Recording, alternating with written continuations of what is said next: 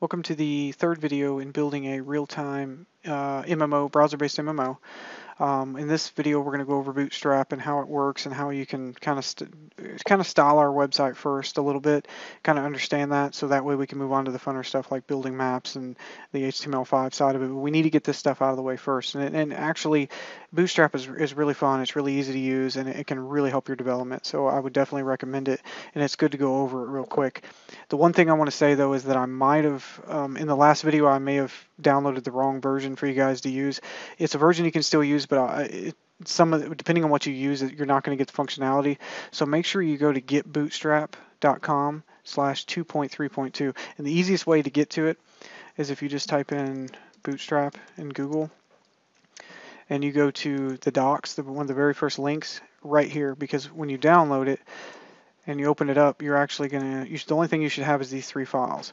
So you go to CSS, all you need is the bootstrap.min.css, and then out of the JS, all you need is that bootstrap.min. Make sure to get those two and um, and bring those over. So otherwise you're gonna you're gonna be missing spans and things like that. So that's my bad. I, I grabbed the wrong version. But if, if you have issues, which I think most of you did actually grab the right version, but if you do have issues, make sure to grab the right version. Um, so with that said, downloaded, replace your files, you should be good to go. And just to kind of show you how Bootstrap works real quick, um, let's uh, first thing we need to do is we need to remove the the Halls node style style issues that we're going to have with Bootstrap. We don't need basically we don't need any of this stuff right here, the float, the size, anything, because we're going to use spans to kind of define that for us. We can leave the borders though, so I'm going to get rid of all this. The only thing I'm going to leave is borders. So I'm going to save that. And uh, let me get rid of this width and height right here. And we will save, and we'll worry about cleaning it up a little bit later. So that was in our style.css, which is in our main file. Open up your index.html, and now let's start working with Bootstrap. So the neat thing about Bootstrap, let's center the page first. So all we got to do is we do div class equals container and basically that's going to define everything in between our that div right there as a container and what that will do is that will automatically center our page for us. Now it made everything else a little funky which we're going to fix here shortly um, but it did center it for us. So the next thing we want to do and the reason why I made it funky is because we removed the floats and things like that but we can fix that. So if we go down below our container we can start with a div class equals row and it's easier if I show this to you than try to explain it right off. So let's create a row because think of think of the way Twitter Bootstrap works as a um, Excel spreadsheet that type or even an HTML table almost but it's not as ugly and it's, it's a little more advanced than that. So I want the, the first row to pretty much encapsulate everything except for the actual chat box where we type in. So I'm going to end that row right there and I'm going to create a new row right here that is going to encapsulate the um, encapsulate the chat box. So if we come down here and we can put it somewhere in here. I'm to clean it up later, but for right now we're just to get this done. Um, so if we go ahead and just look at that real quick, you'll see that not a whole lot changed because they were already in kind of their own rows, but we can still fix that. We can still kind of, so now we what we need to do is we need to, uh, to kind of turn it into a table. So how to do that every row has 12 spans. Each span can be can be growth, grown to any any individual amount of spans as long as it equals 12. So once again, it's easier if I explain it to you. If you do a div class equals span. And if you happen to be using anything with IntelliSense and you don't see span pop up, it's because you're using the wrong CSS and you need to grab that, that other CSS. Um, to be honest with you, that's the first time I've ever seen two different downloads for it, so that's why I got confused. But just grab the other one that's at that 2.0.2 or whatever it is and you'll be fine. So I'm going to make this a span. The first one a span of, let's do span of 6 and 6. That way we equal 12. So we will make just our player list. And then we want to make our, we want to do the same thing with our chat window. And we're going to end that div right there. And I know this is really ugly. You just have to bear with me. As far as the code, we can refresh. And you'll now see that, and it looks ugly right now. We're going to fix it, I promise you. But you'll now see that um, it it put each thing in a span, a total span of six. Now, you could actually, um, there is a way to, to make this bigger than just what's showing right here, but we're going to talk about that here in a minute. But the nice thing is, is it um, it's going to fit, um, you know, depending on the window, it's it's going to center it and make it nice and pretty. I just happen to have a widescreen, so it, it's it's got a lot of space over here. Um, so if we come in here and just kind of say something real quick, you notice that it put this list here and this list here. It automatically sized the row as far as the, the height to whatever it's set at. And we can also, once again, change that here shortly by setting the height of that row. But I wanted to show you how kind of how this works. Now, if you notice, we didn't set a span here, so it automatically put it at 12.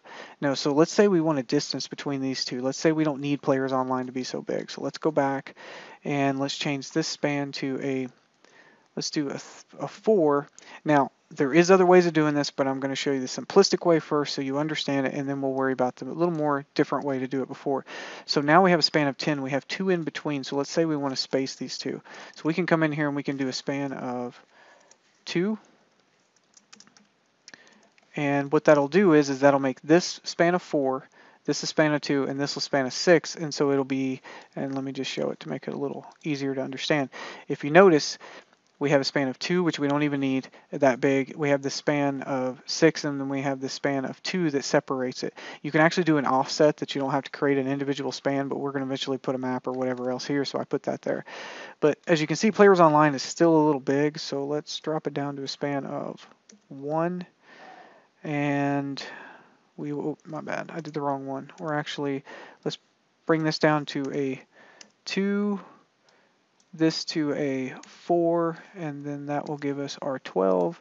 We refresh, and, and now it's smaller. Now, if you notice the border is missing on that, that's because of the style sheet that I had working. So we can actually remove the uh, border right none, border left none, kind of clean that up a little bit so we can see it a little better, and you'll see how it's spacing it out. We can actually come in here to the player list, do a height of, let's do 400 pixels. Save that, refresh, and we now have back to here. So if you notice, that's still the same size. So it, the rows and the spans really work neatly because you can kind of you can actually nest other rows or other spans inside of you can you can actually nest multiple spans inside of rows and multi it, it works a whole lot of different ways. And if you ever want to really dig into it, you can just go to the actual Twitter Bootstrap and look at the examples of how the way it nests. And we'll go ahead and go there now just so I can kind of explain a little bit um, of how that works. Uh, if you go to scaffolding up here, and you can kind of see how you have your 12 span or how it breaks it up to 9. This is actually one, two, three, four, five, six, seven. This is actually 9 span. So, But you can actually use the offset to kind of offset things a little bit. You can nest inside of different columns, rows and uh, columns. So you can see here how they have a row inside of a row that causes that nesting. Um, here's your 12 span right here. So it, it's really neat on the multiple things that you can do with it, and it's just simplistic. That's what I like about it. You don't have to build a table. You don't have to have multiple divs of different types and set the floats and everything else to make things happen. It's just there. It's just so simple. So that's why I use it, and that's why I like it a lot. Um, so now we kind of have that set up. We do need to go ahead and just to just kind of make it look a little prettier, we're going to go ahead and copy this height and put it in our chat window save that and we'll go over here and refresh. So now we have our chat window uh, a lot bigger. And if we go ahead and type and say, and if you notice it, with the, the Twitter Bootstrap, it, it went ahead and added this little um, this little shadowing and things like that, which we can we can do a lot more later on. And um, we have this open space that we left, which we're going to put a, a, nice little map in there. But this this still looks kind of ugly, and until we actually do something with it, I don't I don't want to do a whole lot of work on it um, until we actually decide, okay, this is where, where we want to go where. But I did want to at least explain how the Twitter Bootstrap is going to work as far as our the way we're setting everything up. And and so when I start actually we start actually doing more code on that, you guys understand how this stuff flows and how it works. But trust me, there's a ton more of the Bootstrap stuff that we will be using that will make your life a ton easier. But I did want to get that out of the way. Um, with that said, I believe we've covered everything on Bootstrap that I wanted to cover right now. The next video, we're going to work on a map system using HTML5 and the Mongo database. Um, originally, I had, and I've already been asked this a couple times about, well, why did you use WAMP if you're already using Node.js? Because um, Node.js does have a web server inherently. It is a web server inherently.